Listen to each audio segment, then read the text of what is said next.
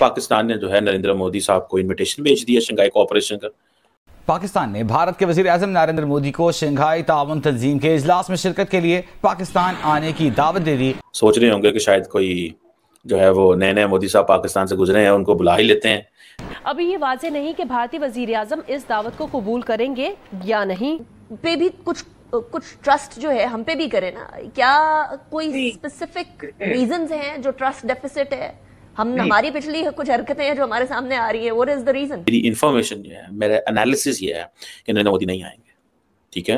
वो नहीं आएँगे। मतलब इंडियन प्राइम मिनिस्टर की आप जरा इम्पोर्टेंस का अंदाज़ा करें पाकिस्तान के अंदर तो वो वहाँ पर एक एक्साइटमेंट शो होती है हाला लाला मच जाती है एक हंगामा हो जाता है ये क्या हो गया? वो आके क्यों पाकिस्तान का स्टेटस बड़ा करें?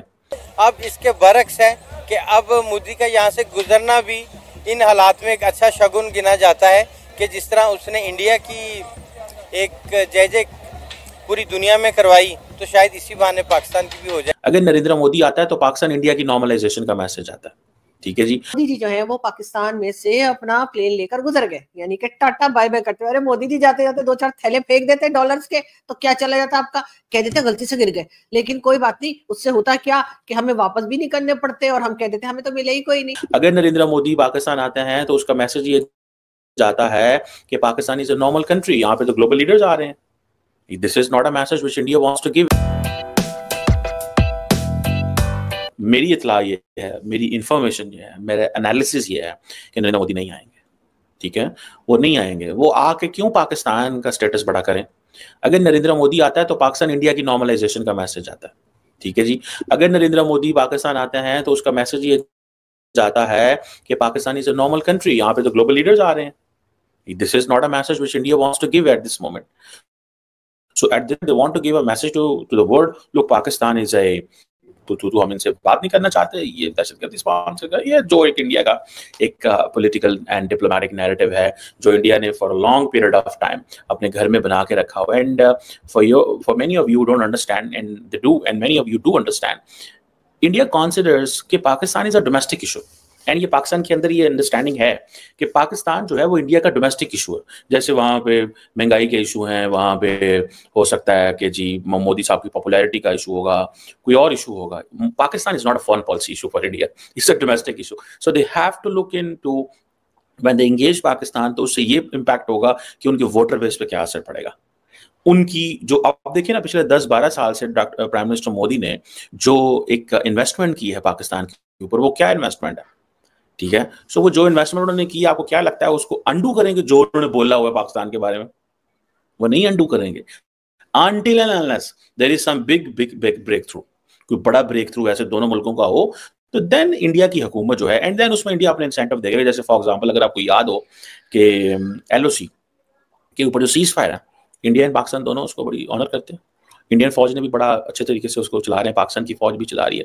सो बहुत फौजें जो हैं वो मिसकैलकुलेशन नहीं हो रही किसी किस्म का कोई प्रॉब्लम नहीं हुआ। They have hotline they have so many ways to talk and they are talking and engaging which is good by the way लेकिन ये जो फैक्टर है, ये जो चीज़ है ये मैं ज़ाती तौर पे ये समझता हूँ कि दिस इज़ इंटरेस्टिंग मेरे लिए ये बहुत ज़्यादा एक इंटरेस्टिंग चीज़ है। uh, और uh, मुझे ऐसे लगता है what I feel and what I find is कि जो नरेंद्र मोदी हैं वो इस चीज़ को लेकर के चलेंगे कि जो उन्होंने ऑलरेडी किया हुआ है जो इन्वेस्टमेंट्स उन्होंने की हुई हैं पाकिस्तान के ऊपर वो यही है इन्होंने छटना नहीं फाड़ लो फाड़ लो कर देनी है ठीक है जी?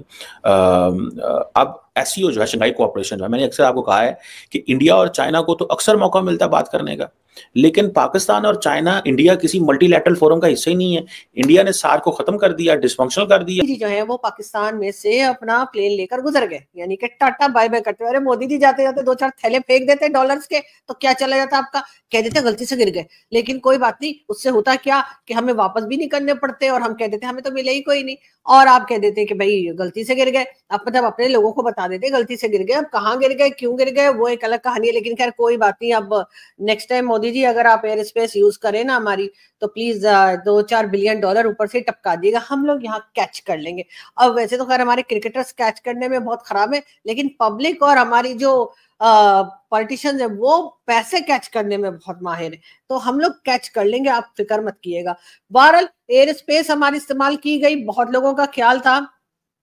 कि शायद हिंदुस्तान पाकिस्तान आपस में कभी बात ही नहीं करेंगे। इस वक्त जो टेंशन चल रही है, कश्मीर के इलेक्शन हैं साथ साथ बार बार कश्मीर में जो अटैक्स चल रहे थे, उसको लेकर कई लोग नाराज़ हैं। भारत से कहा जा रहा है कि, यानी भारत की तरफ़ से कहा जा रहा है कि जी, पाकिस्तान से बात नहीं करनी, पाकिस्तान से ट्रेड नहीं करनी, पाकिस्तान जो है वो टेररिज्म नहीं रोक रहा, पाकिस्तान जो है नॉन स्टेट एक्टर्स को नहीं रोक रहा तरह तरह की बातें हो रही थी। ये भी कहा कि जी, हम तो पाकिस्तान को लिफ्ट ही नहीं कराते, पाकिस्तान के बारे में हम बात ही नहीं करते, इस किस्म की चीज़ें भी भारत की तरफ़ से हमने सुनी। साथ साथ पाकिस्तान की तरफ़ से भी कहा गया कि जी, हम बात नहीं करते, हमें हमें जो है कोई बात नहीं करनी, हमें ट्रेड भी नहीं करनी, हमें ये नहीं करना, हमें वो नहीं करना। जब तक 370 नहीं आ जाएगा जी, हम तो कुछ करने वाले नहीं लेकिन ये सब कुछ बोलने के बाद लेकिन ये सब कुछ बोलने के बाद हुआ क्या कि कहते हैं ना कि एक प्लान आप बनाते हैं और एक प्लान बनाता है ऊपर वाला। जी हाँ बिल्कुल इसी तरीके से। भारत और पाकिस्तान के पॉलिटिशियंस ने तो ये प्लान बनाया था कि हम आपस में एक दूसरे से बात नहीं करेंगे। हम एक दूसरे के साथ काम नहीं करेंगे, एक दूसरे के साथ जरा भी बात नहीं करेंगे। लेकिन हुआ ये कि जी मोदी जी को जाना पड़ गया पोलैंड और पोलैंड से जब मोदी जी आ रहे थे तो उनको जाना पड़ गया दिल्ली ज़ाहिर है तो दिल्ली के लिए उन्होंने रूट लिया और जो रूट लिया वो जी गुजर रहा था।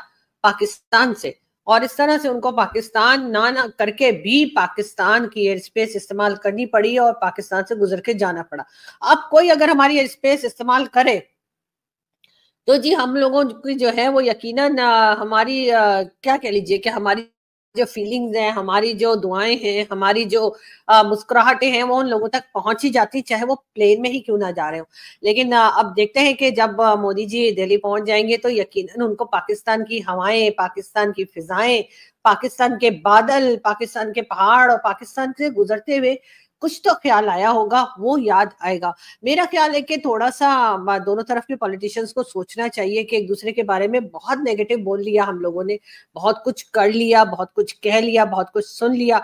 अब अगर कोशिश करें और थोड़ी सी पॉजिटिव बात सोचे लेकिन फिर आप लोग कहेंगे कि जी आ, वो टेररिज्म का क्या हो पाकिस्तान हमारा तो मज़ाक बन गया, हमारे वज़ीर वो कई लोग कहते हैं, जी, हम तो हमने जी ट्वेंटी का हिस्सा होना था। हमने जी ट्वेंटी का हिस्सा कितने होना सी? ठीक है, हमने इकोनॉमी देखे जी ट्वेंटी का हिस्सा होने के लिए पहले वहाँ पे कुछ चीज़ें होती हैं।